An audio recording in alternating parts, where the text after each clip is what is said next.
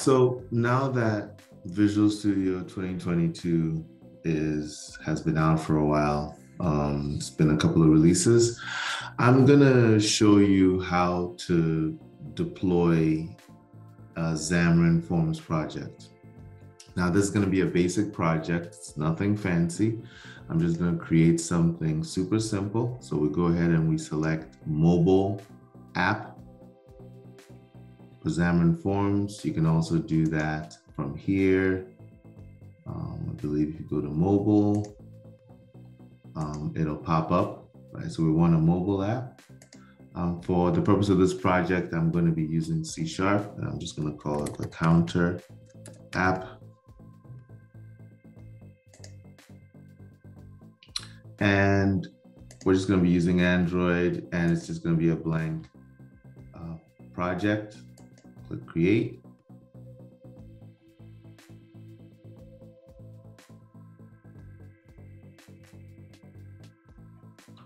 Okay, there we go. And we have our basic Android project. So I'm gonna build that just to make sure everything is all working.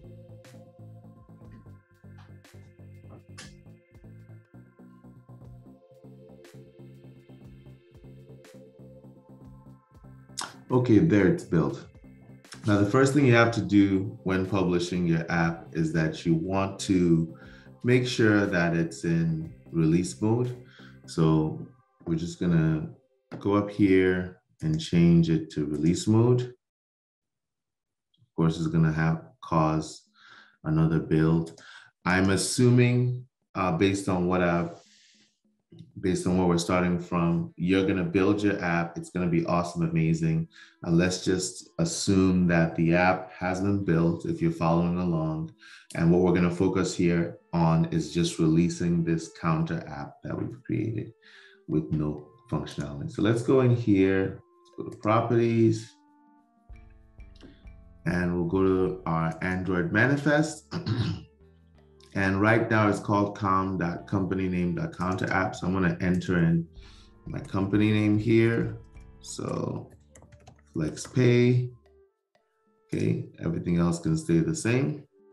Save that. And then if we go to Android options, you see how it says use fast deployment. So we're gonna remove that. Okay fast deployment, you can't actually publish um, when you have fast deployment enabled. And then down here, it's got SDK assemblies only set up. So we'll do run another build now just to make sure everything is copacetic.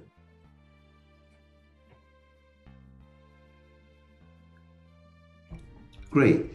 So the reason why you want to do a build before you kind of start this process is because ultimately the process is going to run a build. So you just want to make sure that everything is working properly before you even go down the path of, of publishing.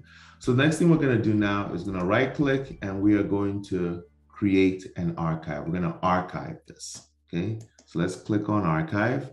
And this is going to take you into this archive view and it's going to package uh, this uh, this um, file. There we go. But there's an issue here that we have um, in the Play Store. Android uh, um, publishing requires actually a different format. So why don't we go back and let's fix that format here. Um, so over here where it says Android package format, it's got APK. Let's go ahead and let's change that to bundle. Okay. okay.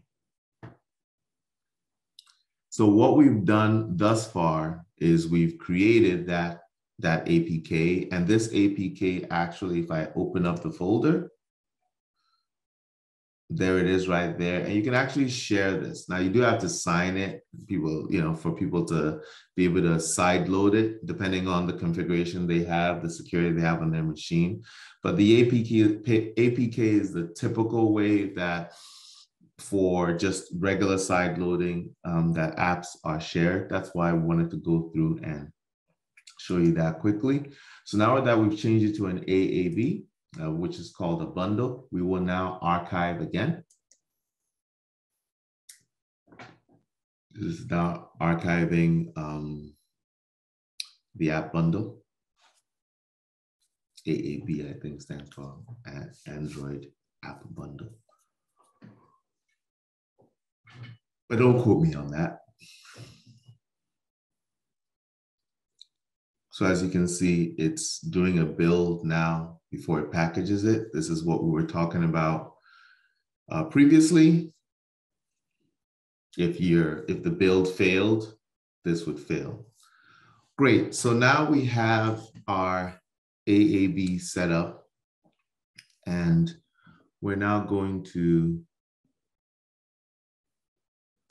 right click that, I'm sorry, go over here, down here, and we're now gonna click on distribute.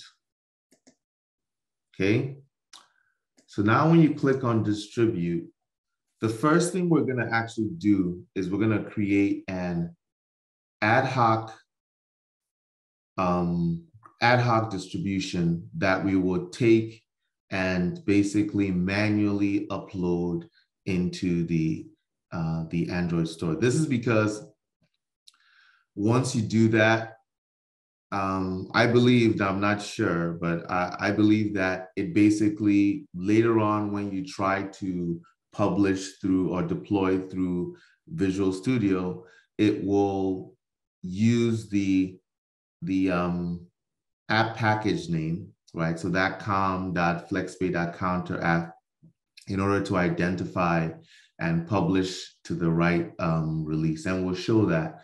Um, uh, but the initial release will actually, it, there's no real linkage between Visual Studio and what you're trying to do. Uh, so there's no way for it to actually figure out where it's supposed to go. So let's go ahead and let's create an ad hoc. So when you create an ad hoc, um, when you go into the ad hoc, first thing you're gonna have to do is you're gonna have to create a certificate. So we click on this, we're gonna enter the certificate name. So this is gonna be called counter store, give it a password, whatever you want.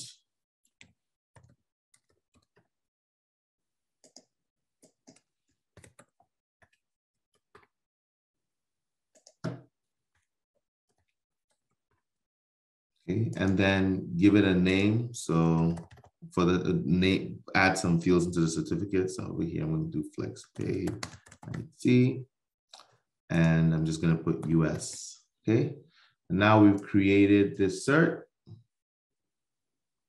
And so this is the cert that we're going to use.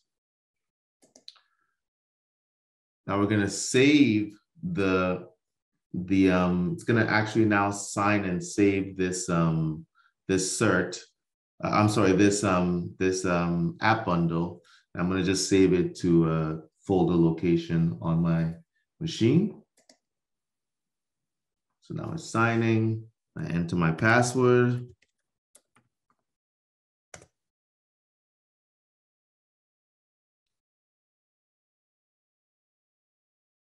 Great. And now we're all set. Okay, so the next thing we now need to do is we're actually going to open up the Google Play Store, Google Play console here. Just open it. I'm going to drag it over here. And we are actually now going to create a new app, the app that we're going to use for this. Okay, so let's create an app and let's call it the counter, counter demo. Okay, and it's obviously an app and it's going to be free. We're not going to actually make this um, available in the store. So this is really just internal. Great, so now we've created this counter app and we're in the app right now. And now we're gonna go over here to production, right?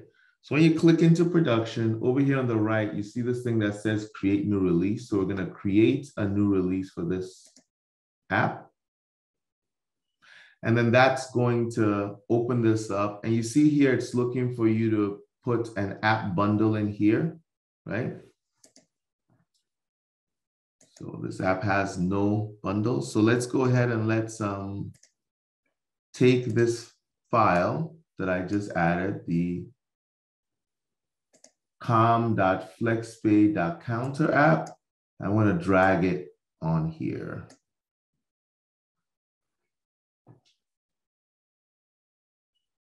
So as you can see, it's going to generate an app signing key.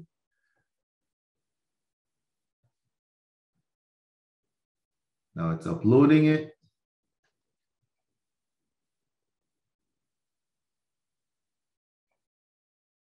And there you have it. So the app has been uploaded um, and properly associated. And I'm gonna just call the release one. And now I can save it. And basically I have my bundle fully signed in the App Store. And that's the fastest way to get your app deployed to the App Store. Now, once you have got this up and the release is fully published and everything, there's a couple of things that you can then do to allow Visual Studio to be linked to the deployment that you're trying to do. Um, so the first thing I wanted to show you is over here, once you create the app, if you now look at the app, notice that the, the app package name is tied to the app, right? So this is a way in, in future cases for Visual Studio to be able to quickly uh, deploy. Uh, once this is published, then future versions will go into draft. There can only be one version in draft. It will not overwrite anything. Um, so once this is published, then yeah, from Visual Studio, you will now be able to publish directly um, into draft uh, for the specific applications. Now, how do you do that, right? So it really starts with API access. So you go over to API access, um, and it doesn't really matter how you get there, but you're actually going to go to your GCP console. Um, so regardless of which of these, of any of these that you link, each one of these OAuth clients ultimately links back to Visual Studio.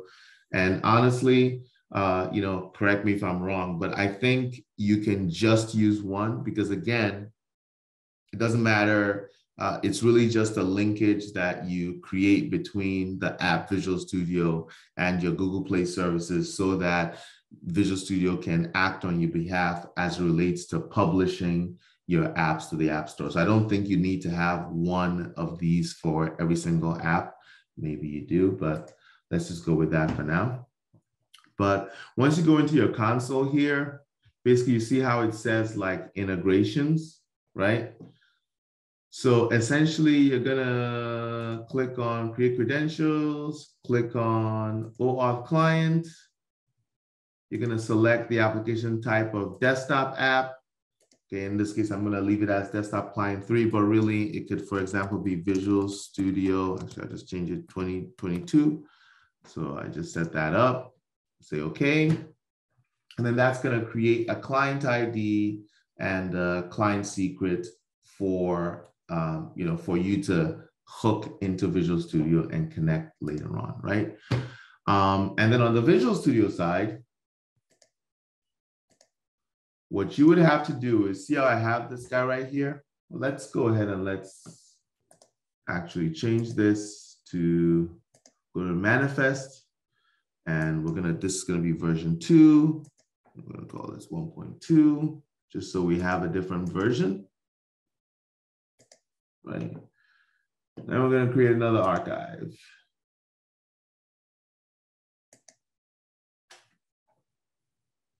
Right, great. So now have our new archive. Now we're gonna distribute it.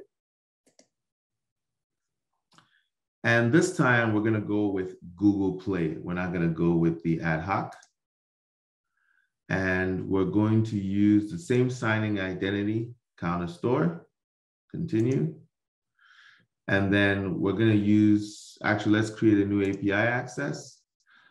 Okay, so we click create a new API access, and then it's gonna see how it's asking for client ID, client secret. So we are gonna go over here and we're using Visual Studio 2022 for this particular integration. And over here on the right, here's the client ID. So we're gonna copy that. Paste that here. And then over here, we have the client secret. We're gonna copy that. Place that here. And then just give it some kind of name. Um, I'm sorry, um, counter.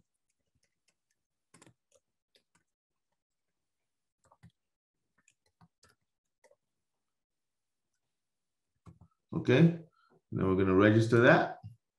And when we register, it's gonna bring us here and we actually have to sign in, continue, continue, that's done. Move this out of the way. Minimize this, come back here, see counter integration has been added. Select counter integration, and then we're gonna click continue. It's gonna go through this again.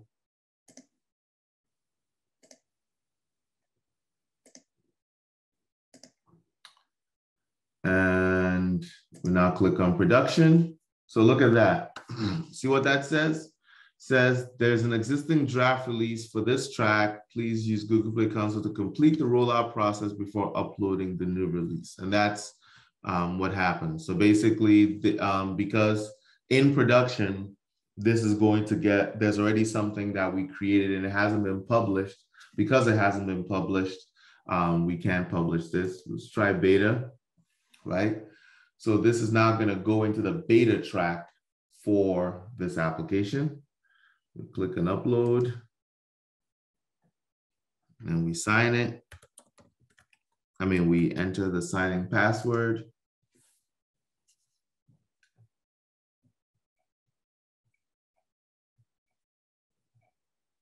So as you can see, it's now uploading. Why is it uploading? Because it knows it, it's found the application on my uh, in my console that maps to uh, this ID. If I hadn't published anything, this wouldn't work. It would fail because it would say, hey, um, you have to publish first. So you have to, first of all, use that ad hoc to publish.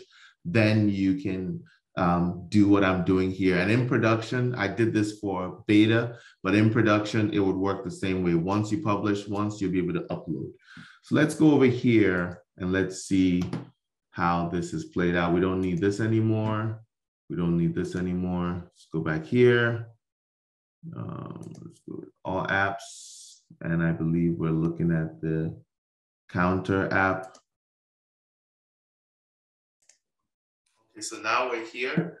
And if we go to production and I go to my releases, you see I have one release. If I edit that release, that's the version 1.0 version that we created. But let's see what happens when we go to testing, right? So let's look at the testing release. So over here, I have release two in testing. And now let's edit this release and see what happens. And as you can see, my app bundle version 2 1.2 has been added here. And it's done that all by itself. Visual Studio has done that all by itself without me doing anything. So this is how you can very quickly and easily publish from your uh, publish, as you see, very simple apps to very complicated apps from your Android, um, uh, from Visual Studio using an Android project onto the Google Play Store, either for testing or for production. This will work the same. Step one is always publish a version manually. And then once a version is manually published, then the package name is going to be associated with the app that you've created in the app store in the app store and then once that is done then you can automatically publish from visual studio directly into the google play store with no issues. If this uh, video has been helpful to you like subscribe and have a pleasant day. Thank you